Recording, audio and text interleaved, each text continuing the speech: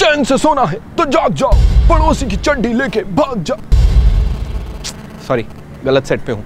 I mean हाय मैं नितिन हूँ। यह है बॉलीवुड हैंगओवर एक बार वापस से आपका स्वागत है एंड कुछ न्यूज़ी न्यूज़ी बात करने वाले हैं, इसलिए वो दाढ़ी वाले अंकल का भूत मेरे अंदर आ गया था। ब्रेकिंग न्यूज़ अभी अभी पता लगा है। इनफैक्ट कुछ दिन पहले ही पता लग गया था। सबसे पहले मैं आपको बता रहा हूँ कि Aamir Khan is all set to address the Rajya Sabha अरे यार राज्यसभा के अंदर पहला ऐसा एक्टर है जो कि नॉन एमपी होने के बावजूद जाएगा और ज्ञान देगा। ज्ञान आ आ, तो उन्हीं को क्यों बुलाया गया है ये मैं अब आपको बता देता हूँ। देखो क्या है सत्यमेव जयते हाँ उस पर जब से इन्होंने मेडिकल प्रैक्टिशनर्स के ऊपर तोहमतें लगाई उनकी पोलें खोली हैं तो पार्लियामेंटेरियंस ने कहा कि एक काम करो यार तुम अंदर आओ और जो एफ़ फॉरेन डायरेक्ट इन्वेस्टमेंट है फार्मास्यूटिकल सेक्टर में उसके ऊपर अपने व्यूज़ व्यक्त करो। अब मेरे को लग रहा है कि इनको बुलाने की खास वजह पता है ये होगी कि सत्यमेव जयते पे ये जो बड़ी बड़ी प्रॉब्लम्स हैं हमारे देश की उनको एड्रेस करते हैं। तो हाँ जो पार्लियामेंट है, उसी के अंदर तो हमारी सारी की सारी प्रॉब्लम्स बैठती हैं। And that's why Aamir Khan is going there to address the problems अभ्युम अभ्युम अभ्युम वन मोर ब्रेकिंग न्यूज़ क्या है कि वीना मलिक को उनकी फ़िल्म के सेट यानी दाल में कुछ काला है, कुछ ऐसी नाम है, उसके सेट पे राजा चौधरी ने प्रपोज कर डाला, क्या तुम मेरी अर्धांगिनी बनोगी? मुझसे शादी करोगी? इसका एक रीजन हमने जो पता लगाया वो ये है कि देखो, वीना मलिक अपने स्वयंवर के लिए रिलाय कर रही थी एक टीवी चैनल पे, वो रातों रात बंद हो गया।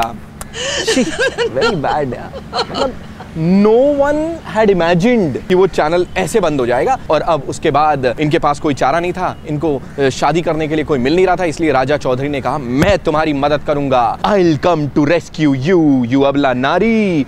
बस, आ गए मदद करने के लिए। जिसका कोई नहीं, उसका तो राजा है यारो। आज की हमारी तीसरी breaking news is Mallika Sherawat ने सचिन जोशी। जी हाँ वो आसान फ़िल्म के हीरो। हाँ उनके 75 लाख रुपए चुराए और फुर हो गई। देखो कहानी कुछ ऐसी है कि अजान वाले इस एक्टर एक्टर है वो पता नहीं। आ, सचिन जोशी की एक और फ़िल्म आने वाली थी जिसमें लीड रोल के लिए लिया गया था मल्लिका शेरावत को। उनको पूरे 75 लाख रुपए दिए गए। दो दिन वो शूटिंग पे आई और उसके बाद बोली ना मुझे नहीं लगता ये रोल मैं करना चाहूँगी।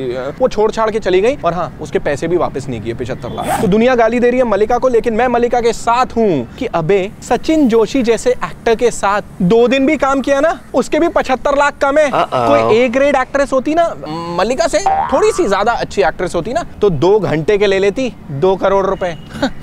बात करते हैं। Mallika I am with you do not worry पहले यहाँ पे तीन तोड़ फोड़ न्यूज़ मैंने आपको बता दी यानी तीन न्यूज़ आइटम्स के बारे में आपको बता दिया और आए दिन ऐसा होता है यार। अबे ए, कौवे पब्लिसिटी स्टंट क्या होता है कि कभी कुछ कर लेते हैं। कभी कुछ कर लेते हैं। न्यूज़ में बने रहने के लिए कुछ एक चोरे कुछ भी करते रहते हैं। तो आप मुझे बताओ, कौन सा कोई एक्टर या सेलिब्रिटी या जस्ट वन बी है जो न्यूज़ में आने के लिए हर तरीके की चीज़ें अपना चुका है? और अब बस हो गया यार। प्लीज़ प्लीज़ प्लीज़ संन्यास ले ले घर बैठ। अभी तेरा कोई भी पब्लिसिटी स्टंट नहीं चलने वाला। इसी समय यहाँ कमेंट सेक्शन पे लिखना मत भूलिएगा। And also don't forget to subscribe to this channel Bollywood Hangover this is Nitin signing off until we meet again अभी के लिए, वो देखो कौआ